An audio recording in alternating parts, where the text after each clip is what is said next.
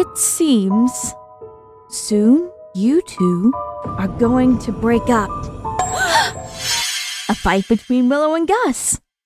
Oh. Also, Amity, you are going to die of happiness when Luz proposes to you.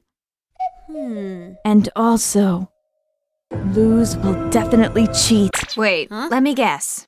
She will cheat in exams? No. Huh? In Hex's Hold'em, Would you stop that?